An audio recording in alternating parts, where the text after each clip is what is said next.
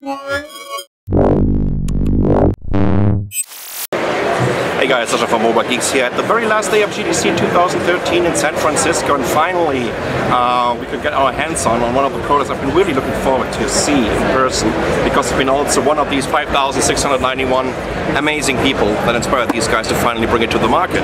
Um, that's a so-called game stick. Uh, it's a small little stick like this one here. I'm going to tell you everything about this. This is um, the developer's edition here and basically we could have even faked a little unboxing with it of course you have here connector for HDMI and a USB connector in here, right?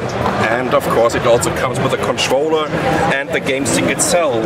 I will keep in mind that this is the developer's edition, that's a prototype. The retail version will look quite different and some, some of you remember it maybe from Kickstarter that there was actually a docking bay for the game stick itself that they could put it into the controller. So this is just uh, a non-working version here right now, but there is a game stick connected to this screen here and we're using this controller just to show you a little bit how the, the, front end looks like. So of course we have the, the games here, media settings, feature play now, popular all, and a bunch of games um, that you can immediately play. Uh, keep in mind right now, they, I think they have like 50, 60 uh, games on their list that are actually compatible with the game stick. Right. So some blockbusters like Riptide GP, uh, Shadowgun from the fine folks of Madfinger, Radiant, a great classic shooter.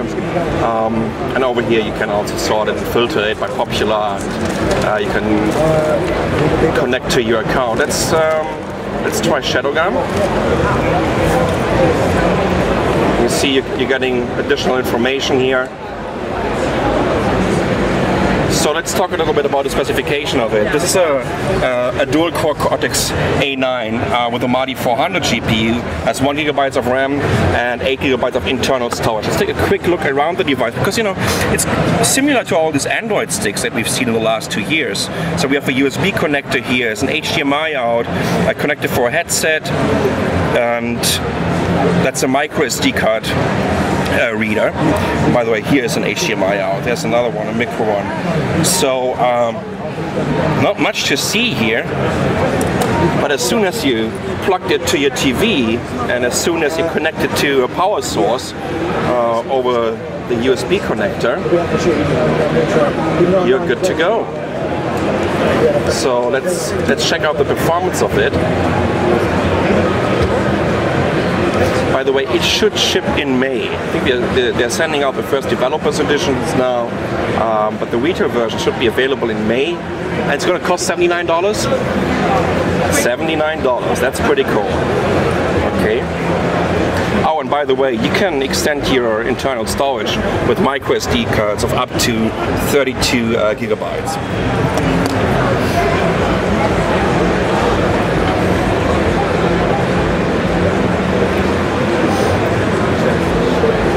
Here we go.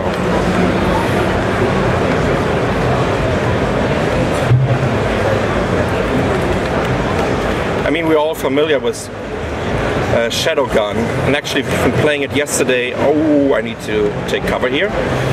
we've been playing it yesterday on the uh, on the BlackBerry 10 platform, and this looks definitely way better. Well, the Mali uh, 400 GPU different.